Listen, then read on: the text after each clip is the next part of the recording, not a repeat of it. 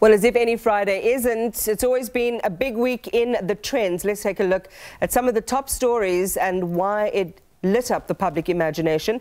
Ayanda Sishi Wigzell is freelance, journal, freelance journalist and political commentator and joins me now. Good evening. It's lovely to have you as always. Thank you. Well, we had a new trend uh, develop just a short time ago. Of course, Sihle Zikalala, a lot of tongues wagging about his resignation. Not entirely unexpected, uh, but I suppose we didn't expect it to happen today. Let's hear what he had to say. Uh, let's listen to part of his swan song earlier. There are those who have accused us of betraying former President Jacob Zuma.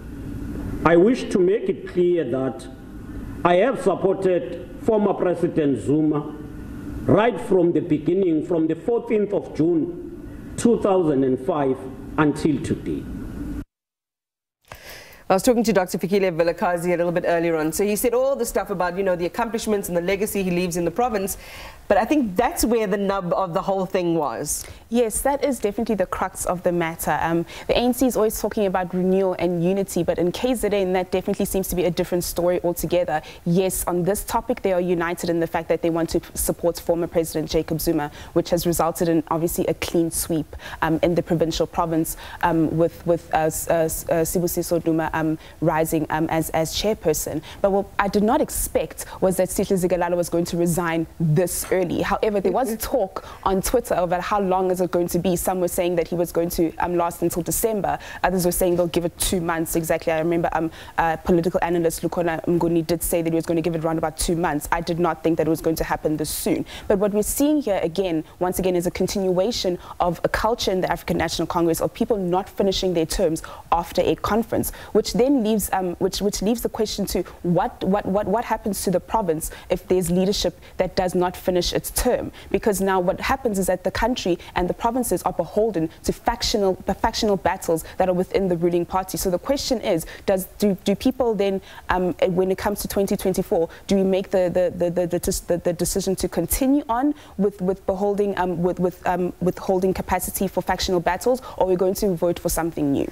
Yeah, Fikile was also saying earlier that it's interesting on the notion of uh, whether there'd be a purge or not. Siboniso Duma did seem to kind of, you know, have mixed messages and kind of a you know festival of semantics. But anyway, talk about people not serving their terms. Forget about the pro province and the provincial leadership. We haven't had you know I think with the exception of uh, former President Nelson Mandela, president serve his term. So you know we're, not in uh, unknown uncharted waters. We're not in uncharted, not in uncharted waters. waters. Let's talk about Pule Mabe then. Of course, he was reacting to um, this horrible story. Um, which is a reality for so many people across our country um, these sexual assaults, multiple sexual assaults, multiple simultaneous sexual assaults in Krugersdorp. Um, you know, and, and, and, the comments he made with regard to this being a wake-up call. Yes, but the problem that I have um, with, with, what, with his position is that he is part of the ruling party, and the mandate of the African National Congress is to bring socio-economic, um, socio-economic freedom within our lifetime. And since 1994, we can actually have data and evidence to see that they have failed at that mandate. That march, it, it served, it served nothing because they're actually marching against the government that they are in leadership in right now. They have the the, the capacity and the resources and the wherewithal to actually fix these mistakes. We have known about illegal mining for a very, very long time. In fact, we've known about mine, um, uh, mine dumps um, that have been left unattended. Where, where is this money going that is being, um, that is, where, where's the gold going that has been mined from these spaces? Where are the police and where is the work that is being done and the intelligence that, have been, that is being done to make sure that the criminality doesn't continue? What we're witnessing is a failure from our government and a lack of political will to change change the status quo on the floor. And them marching when, when, when, there is, when, when media is, is there, when cameras are there, is not going to solve the issue. We need leadership that is on the ground, that is actually willing to change the status quo and not just show up on the cameras when something big like this happens. Of course, this is a tragedy, and gender-based violence is something that we've been dealing with here in the country for a very long time. But there are processes that this government can do in order to make sure that we feel safe and in order to make sure that residents in this country and people in this country can actually have access to dignified work. And that is a problem that we have in this country. People do not have access to dignified work, which then results in people going into undignified um, spaces in order to um, in order to provide for themselves. And what Pule Mabe failed to do was to say, um, this is where we have failed as a government. This is where we have failed, and this is where we will um, solve the issues. But instead, there was once again a lot of grandstanding coming from other political organizations, but for the African National Congress, because they are the ruling party, the buck stops with them. Yeah, they're the governing party. Exactly. The clue is in the title. Um, a lot of cognitive di dissonance there, and we, have seen, you know, that happen over and over again when, um, you know, an unfortunate story or tragedy happens. Um, you'll see the political complex there. And a lot of people will say months later, years later, nothing significantly or substantively changes. Um, and let's stay with the region. Of course, Kagiso, Zamazama, Krugersdorp, really, again, igniting the conversation this last week. And this is the crux of the matter. our communities are under siege and there is lawlessness in the country. And I was listening to, um, I was actually watching Chriselda Lewis on television this week, and one of the people that she was interviewing actually said something that was really telling. He said that we are the police now.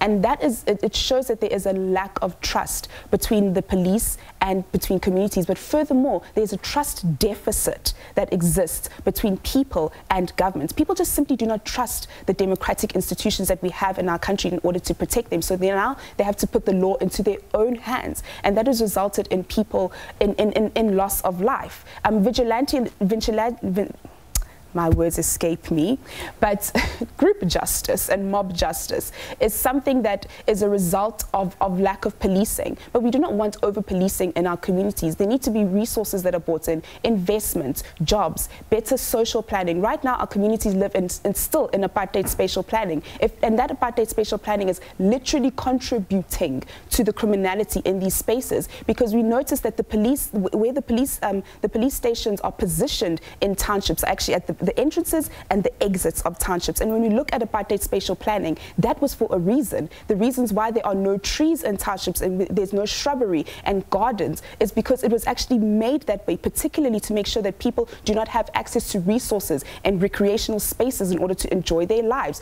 We need to bring these back into our townships so that people can actually enjoy their lives in the spaces where they live. The fact that um, taverns and recreational spaces are under peril adds to the lawlessness and the social ills that we are dealing dealing with in this country. Yeah. And we need to fix those socioeconomic problems. I was talking to the CSVR on the program a little bit earlier about pathologized uh, violence and patterns of how we experience violence historically and then how we translate and enact that violence in, in current days. And I, I mean, I understand the difficulty with the terminology around you know, mob violence, because it is mob violence. There's no justice where there is no recourse and, you know, due process. You know, innocent people, and we've seen this in South Africa, um, get caught up. But there's also a psychological scar that is left on those communities themselves. Absolutely. You know, being caught up in those moments, being doing something that is perhaps even outside of your character.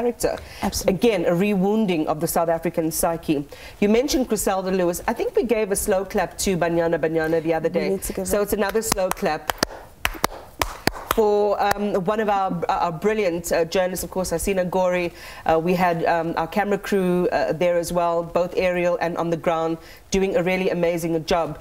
But you know, stories like that in, in the way, and, and we can see Chriselda um, in that footage there, um, connecting, being real, um, you know, moving with the motion of, of that story was really just a, a, wonderful moment in journalism. Tell us how I mean, I saw people just really, you know, inspiring. Kind of, yeah it's inspiring. Yeah. Um, best best way I could describe it. It is inspiring. Sad also in the same time because of the work that she is doing and the work that she has to cover. But there's also a deep trust um, that she has gained from the public, which I think is very very important. Just also for journalists in general, um, the work that she is doing is absolutely fantastic. It's brilliant and it's the golden standard, and, and everybody should you know aspire to be um, to be like like like Chriselda, you know, going into in, into the hole in broadcasting from from the from from the hole something that I wouldn't be brave enough to do myself, which is why I'm sitting in this beautiful studio. But I think that she is absolutely a fantastic field reporter, and anybody should aspire to be like her. Absolutely. Uh, and, you know, as somebody who, who loves journalism, who loves telling stories, when you see a colleague um, respond that authentically, with so much heart, but also so much awareness yes. of that environment is really beautiful to watch. I must also shout out Mangoba um, from our camera crew who did a lot of the uh, aerial shots. Um, I mentioned Hasina already, Gabi, Neo. It was really a great Neo. moment for TV. It, it is our entire team on the SABC, and we're so proud tonight. Thank you very much, uh, Ayanda, for talking to us as always. And it's lovely to have you, and I'm, I'm enjoying listening to your perspective so much. Ayanda Sishi Wigzell, who is a freelance journalist and a political commentator. Sports up next, and Zai standing by.